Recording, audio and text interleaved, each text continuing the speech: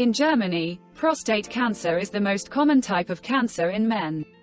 Therefore, insurance companies pay for patients over 45 years of age to be examined by a urologist, a rectal examination.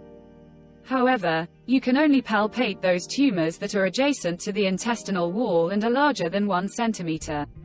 If palpation reveals suspicious changes, then the cancer, as a rule, is no longer at an early stage. Conversely, not every palpable change is cancerous.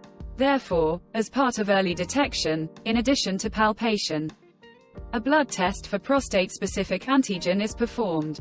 It is important to know that an increase in antigen levels can be a consequence not only of the presence of a cancerous tumor, but also of other processes, for example, benign enlargement of the prostate or its inflammation, prostatitis. In addition, the prostate reacts to pressure, and irritants such as cycling. Straining for constipation, horse riding, or palpating the prostate during a checkup may temporarily increase prostate-specific antigen levels. In Germany there are specialized centers for prostate cancer. There, a biopsy sample is taken using the so-called fusion biopsy. This requires special technology. A three-dimensional image is formed from the ultrasound image in real time, which is combined with data obtained by MRI. This gives the doctor the opportunity to specifically take samples from suspicious areas.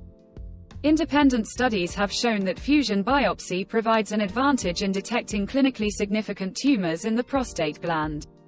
At the same time, thanks to an accurate assessment of the significance of changes detected in the prostate, the number of unnecessary interventions and the associated risks and costs is significantly reduced. Prostate cancer is often asymptomatic for a long time, and its complete cure is possible only at an early stage, when the tumor has not yet spread beyond the organ and has not metastasized. When they talk about a complete cure for prostate cancer, this means surgical removal of the prostate and seminal vesicles, as well as, as a rule, nearby lymph nodes or irradiation of the tumor.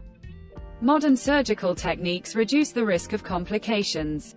For example, robot-assisted surgery reduces the risk of urinary incontinence or loss of erectile function.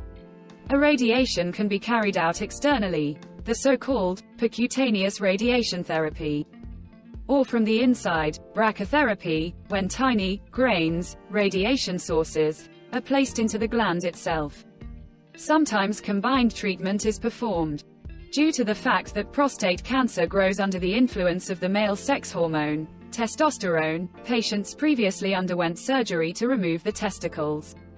Today, Medications are prescribed that suppress testosterone production or block the action of testosterone. They have the same effect as surgical removal of the testicles, but their effect is reversible. Such anti-hormonal therapy as the only method of treatment can be used in elderly patients or in the presence of severe concomitant diseases that prevent radical treatment.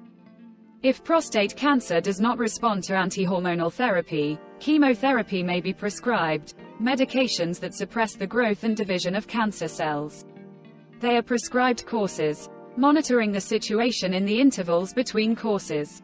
In addition to chemotherapy with cytostatic drugs, targeted therapy with drugs that interfere with certain metabolic mechanisms of malignant cells is also currently used. Methods such as cold therapy, cryotherapy, heat therapy, hypothermia, high-frequency radiotherapy, high-intensity focused ultrasound therapy, laser therapy are not standard and are used as experimental and in clinical studies.